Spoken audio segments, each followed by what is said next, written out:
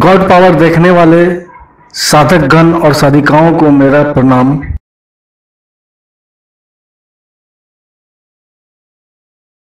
दोस्तों, सबसे बड़ा पर्व छठ पूरे देश में बेहद धूमधाम के साथ मनाया जाता है।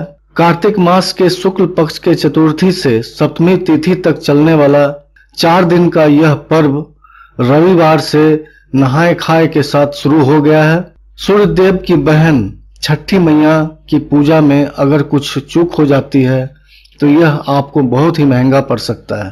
आज इसी विषय पर मैं एक वीडियो देने जा रहा हूँ, जिसे आप लोग पूरे ध्यान पूर्वक देखें, सुने और लोगों को बताएँ।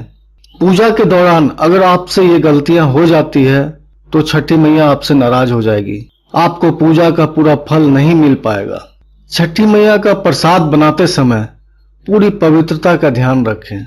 व्रत के दौरान घर से मांसाहारी खाना बिल्कुल भी नहीं रखना चाहिए। व्रत के दौरान घर में धूम्रपान भी नहीं करना चाहिए। सूर्य को अर्थ देने से पहले जल या भोजन ग्रहण नहीं करना चाहिए। घर में प्याज और लहसुन बिल्कुल न रखें। सूर्य को अर्घ्य देने वाले पात्र का विशेष ध्यान रखना चाहिए। कभी भी चांदी, स्टील, शीशा और प्लास्टिक से बने बर्तनों से अर्घ नहीं देना चाहिए। अगर आपने छठी मैया की मनौती मानी है तो उसे ज़रूर पूरा कर लेना चाहिए, नहीं तो छठी मैया नाराज़ हो जाएगी। प्रसाद बनाने की जगह पर भोजन नहीं करना चाहिए। छठ का व्रत करने वाले को वाणी पर भी संयम रखना चाहिए। किसी को अपशब्द कहने से पूजा का फल नहीं मिलेगा। स्वच्छता का विशेष ध्यान रखें, पूजा के दौरान गंदे कपड़े न पहने। नहाए खाए से छठ समाप्त होने तक व्रती महिला और पुरुष को बिस्तर पर नहीं सोना चाहिए। प्रसाद बनाते वक्त कुछ खाना नहीं चाहिए, नमक या इससे बनी चीज़ों को नहीं छूना चाहिए। पूजा की किसी भी वस्तु को जूठे या गंदे हाथों से न छुएँ।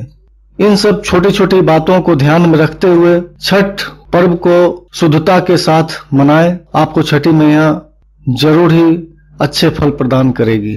धन्यवाद दोस्तों।